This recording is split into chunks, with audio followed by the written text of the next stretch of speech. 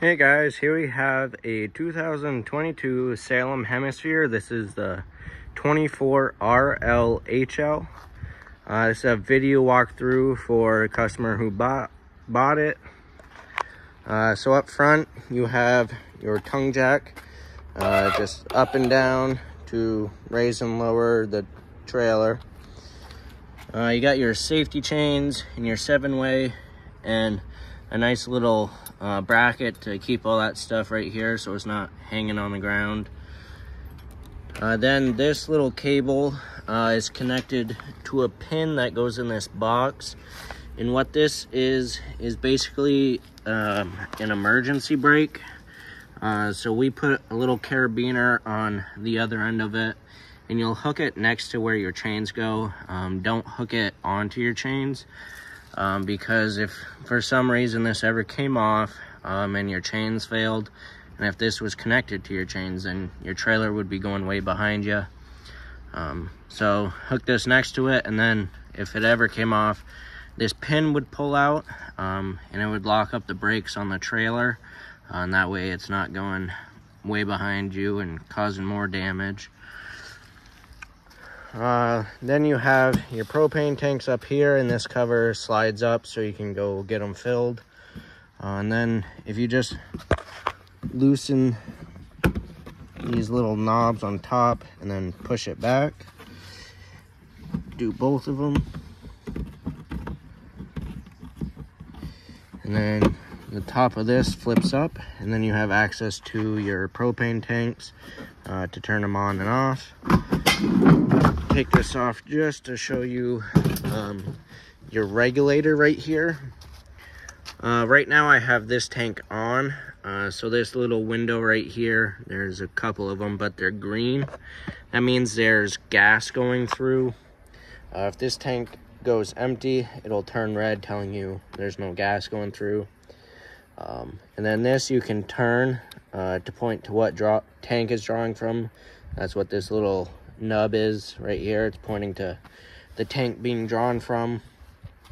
You can have both tanks on at once, um, but it'll only draw from one tank, uh, the one it's pointing to.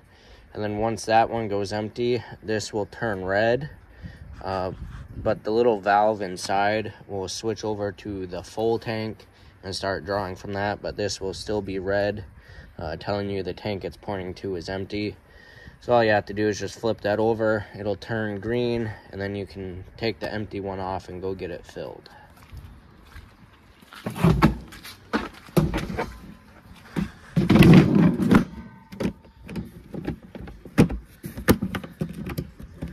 close that back up.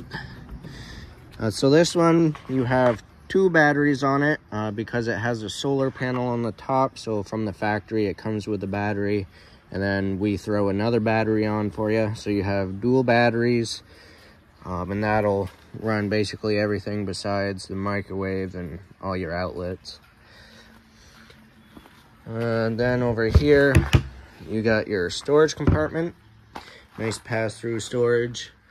Um, and up here this is where your uh, solar charger is. Uh, so it'll just tell you the voltage uh, the amperage you're drawing uh, how much it's charging and what the voltage of the battery is. Uh, up here you have a battery disconnect. It's just a little key so you twist it, pull it out, um, and then it'll shut, basically shut the batteries off so nothing's being drawn from off of it. And then put it back in and twist it. And then your batteries will work again. All right. Um, so down here you have your water hookups. I got everything right here. So this one down here is your city water. So that's where you'll hook up your hose when you're at campgrounds that have water hookups. Then this one over here is your freshwater connection. Uh, you have a portable water tank. Uh, so if you're going to a state park or going on a long trip, uh, you can fill that tank right here um, at home before you leave. Uh, and that way you have water on board. And then when you're dumping your black tanks, you have a, or your black tank, uh, you have a black tank flush. which there's just a little sprayer in there. Um, you hook up your hose and it'll clean off your sensors and uh, help flush out your tank. Then up above, you just have an outside shower. Then right here, you have your power cord hookup. Uh, this is a 30 amp service. Uh, so when you go to campgrounds, make sure you ask for the 30 amp hookups. Uh, if you're at home, you can get an adapter to plug into a regular household outlet. Um, the only thing you can't run is your air conditioner because that requires a full 30 amp service. Uh, because the air conditioner requires 20 amps itself, uh, and a household outlet is 15 amps and sometimes 20. Um, so just don't run the air conditioner if you're plugged into an adapter at home. Um, but everything else, you'll be able to charge up the battery, run your fridge, uh, you know, clean the inside, turn on the lights and stuff. So that's pretty handy. All right, then down below, uh, you have your sewer outlets right here. Uh, so you have two gray tanks, uh, which are these gray handles here. And that's going to be your sink and shower water. Um, so the sink and shower bathroom is right here, the rear. And then the front one is for the kitchen sink. And then behind that, you have the valve for the black tank, uh, which is your toilet water. Uh, oh, I actually got that backwards. This one is for the kitchen sink, and this one's for the bathroom. I just realized that the bathroom was up here, so that's my fault. This one is for the bathroom, shower, and sink, and that's for the kitchen sink. Um, and with the black tank flush, uh, make sure you keep the black tank valve open. Uh, that way, um, if it's closed and you get distracted um, and that tank fills up, the only place for that water to go is either out through the toilet or through the vent on the roof. And you definitely don't want that to happen because that'll leave a mess. Uh, so make sure that valve is open and you're nearby. Alright, then you have your slide. And on your slide you have these vents right here. That's just for the back of the fridge. Um, this little hose sticking out is for the drain for condensation on it. Alright. Uh, you got your bumper and your spare tire back here. Uh, it's prepped for a backup camera, and then you have ladder to get on the roof to check the seals or clean off the solar panel. Uh, and then behind the ladder, you have your park cable, and then if you have a satellite dish, you can hook it up here. Right. And on this side, uh, right next to the entry door, uh, you have a switch right here. And that is for your rear stabilizer jacks. These are electric. Uh, so you just have extend and retract. Uh, when you're extending it, um, once they hit the ground, uh, you'll kind of hear the motor wind down a little bit. Once you uh, hear that, and it might pick up on the trailer a little bit, and that's okay. Um, but you don't want to try and, you know, jack the trailer up with these or uh, these won't level it because they kind of pivot. Uh, so if there's pressure on uh, one of the foots, the other side will start to go down. Um, so it's nice for uneven grounds, uh, but they will not level um, the unit. And they're only made for stabilizing, so if you were trying to, you know, pick this up with the jacks, uh, it will bend them. Uh, so just be careful of that. Uh, like I said, once you hear that motor start to wind down, uh, just let off the switch and you're all set. Um, and then you have the same exact switch up front. Um, same thing as I just told you. Uh, then you got your entry steps here. I'll explain that more once we start to go inside. I uh, got a nice big awning that basically goes the whole length of this. I got a couple outside speakers. Uh, this right here is a vent uh, for the stovetop fan. And there's a little flap in here. You can kind of see it. It's a little hard because it's dark, but uh, it just snaps open just like that. Um, and then you'll be able to use it and then uh, make sure it's snapped back in uh, when you're traveling or not using it. That way no water or bugs uh, get up in there. And then below that you have a mount for a TV so you can bring the TV out here. And then you got the cable hookup for the TV and then a couple outlets.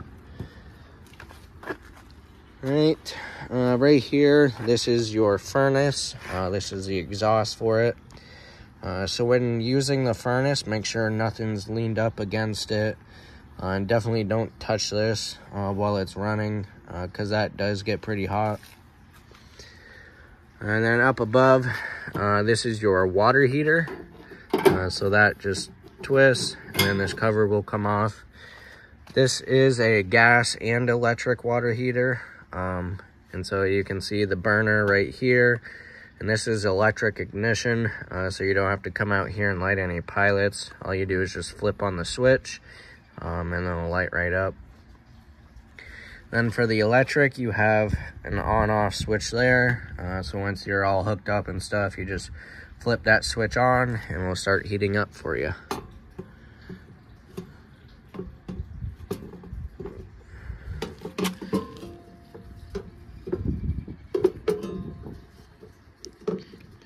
There we go.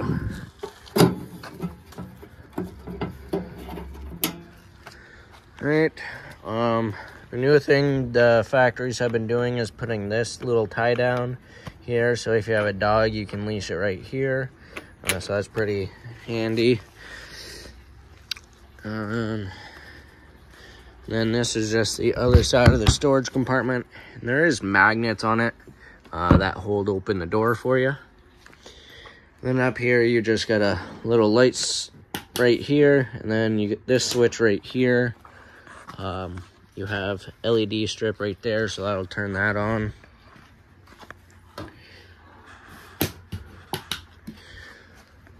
All right, now we'll go inside.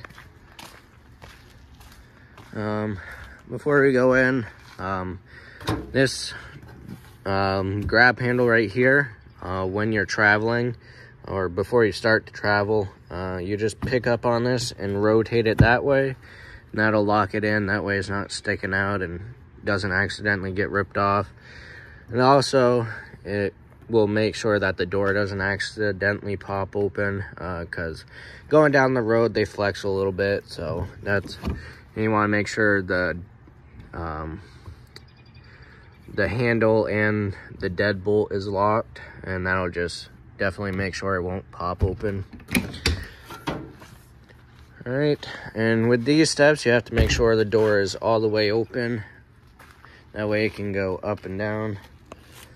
Uh, so these steps, if you just grab the bottom and you flip it up, there's a little handle right here. And then just go all the way like that. And then you have a little lock right here uh, that'll keep it locked. Uh, so that way when you open the door, it doesn't just fall right down on you. Uh, so then you just pull that and then you can pull the steps down. And these legs are adjustable, so you have a little button right there. You press that, and then you can extend or retract the legs.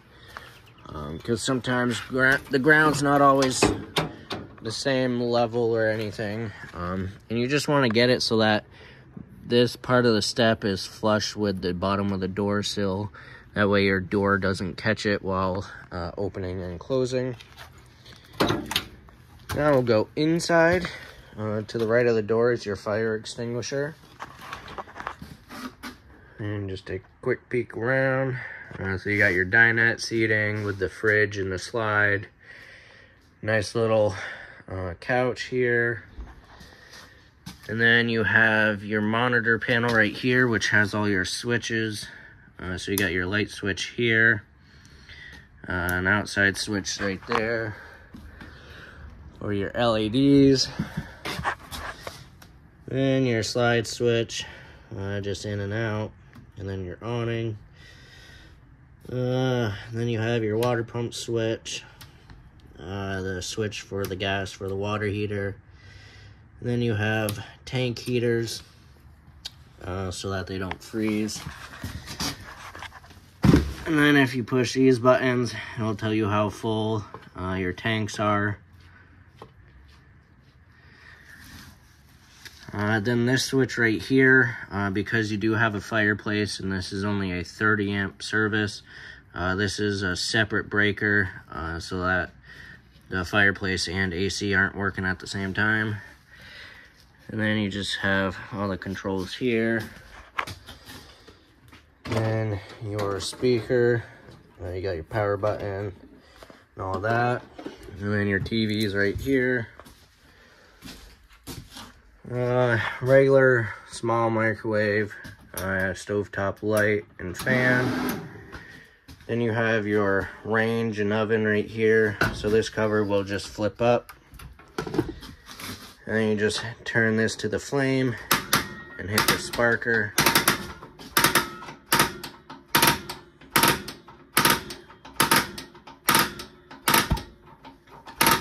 There it goes. Uh, so it lit right up. Uh, it took a while because it hasn't been running a little while. Uh, nice thing about this is that the knobs turn red, um, telling you that there's a gas going. Um, that way, if you, you know, you accidentally leave it on like that and don't shut it all the way, uh, you'll be able to know. Uh, then you have light switches here, uh, so you can turn the knobs blue and then you have an oven light. Um, and even with these knobs blue, once you turn it, it still turns red. Um, you want to make sure the burners and the grate is completely cooled before folding down uh, the cover because uh, it will shatter that if these are hot. Then you have your sink and some storage. And then you have a nice little flip up uh, extension to the counter. Uh, your dinette booth seatings right here. Uh, your table, uh, you can lift that up, pull the poles out, and set it down. And then you can make this into another sleeping area. Don't believe. No. Then your, these are actually reclining chairs, so you have your lever right here to pull it out, uh, and then you can recline it. Uh, then you have nice little closet area right here. Right. Uh, then you have your fridge. Uh, so if you open the freezer part of it, you have your switches right here. Uh, so you just have on off button there. And then this switch will control what source it's running off of. Uh, so with it pushed in, it's on auto. And what that's doing is looking for uh, 110 power first. Uh, and if you lose power overnight or if you're not plugged in, it'll automatically switch to gas. Hence the auto uh, part of it. Uh, and if you are plugged in, uh, say you're plugged in at home um, using an adapter and you have the water heater running on electric, uh, you would want to turn the fridge on gas. Uh, that way you don't accidentally trip the breaker at home. Um, or vice versa, you can have this running on electric and the water heater on gas. And then turn it off. And then the fridge part of it. Uh, and right here, there's a little thermostat inside of this, so you can push it up and it'll make uh, the fridge get colder. And if you push it down, it'll be warmer. On this is like a gravity kind of thing, so there's some fluid in that line. And so obviously the higher it goes, um, it'll have to take a little bit longer to get colder, which will uh, make the fridge colder. Right, uh, before we go in the bathroom, you have your thermostat right here, and this big button uh, controls what mode, which mode it's running off of. Then the arrows are the temperature settings, uh, so you just press it. You have fan, which is just the fan in the air conditioner, and then you have cool. And then you have the auto side of cool, then you have heat, and then off. Alright, so you got your bathroom right here, nice sink, plenty of counter space, and some shelving right there. Uh, medicine cabinet, um, and then that is your GFCI uh, outlet. Uh, most of the outlets in RVs are GFCI protected, uh, so that's just the main one. Uh, so if it trips, that's where you reset it. Then you got your toilet with a foot flush right here, and then your shower, just regular hot, cold water. Uh, and then this is shower curtain. Just pull that there, and then it will lock in. And then when you want to close it, just bring it back like that. And you do want to keep a hand on it because it's spring loaded. So if you just let it go, it'll snap back. Um, and you'll risk damaging it. Uh, then you got some nice, nice storage area here. Uh, nice and deep. That's probably probably close to three feet deep. And then your toilet paper holder. And then you got a nice sliding door here. So you unlatch it. And there's a magnet on this side, so that's why this piece is right here. And that'll just keep it kind of from sliding open. And it is pretty strong. Uh, but definitely for traveling, you want to make sure that it's uh, strapped back down like this. Uh, your light switch for the bathroom's right here. You do have a nice little window in the bathroom. Uh, you have a vent uh, with a fan, uh, so that knob right there will crank open the lid. Then you got the switch to turn the fan on and off. Then you have a nice little skylight in the shower to let in some natural light. And then last but not least, uh, the bedroom. Uh, same door as uh, the bathroom. Light switch right here. You do have TV hookups here, so you could mount a TV there if you wanted. Uh, some nice closet areas and storage up above, and you do have some lights above the head. Then way in the back, you have a little cubby for like a bedside table, and there are uh, outlets and USB ports there, uh, so you can charge your phone, or if you had like a CPAP machine or something. Uh, same on that side. Then your bed also lifts up, and you got some storage under that. Uh, and then if we close this door, behind it is, uh, this is your converter. Uh, so this just has all your 12 volt fuses right here, and then all your 110 breakers right there. Um, closet area it does have a coat rack thing right there. And same on that side.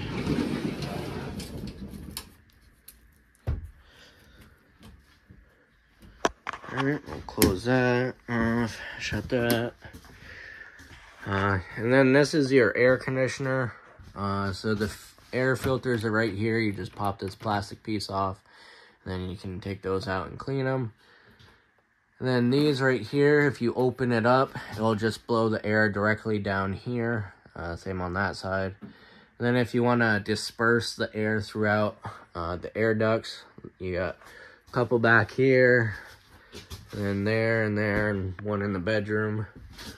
Uh, you just close this, and it'll go throughout the unit. Then you also have a nice little skylight in the kitchen. Uh, lets in some natural light. Uh, so that is everything to do with the 2022 Salem Hemisphere 24 RLHL.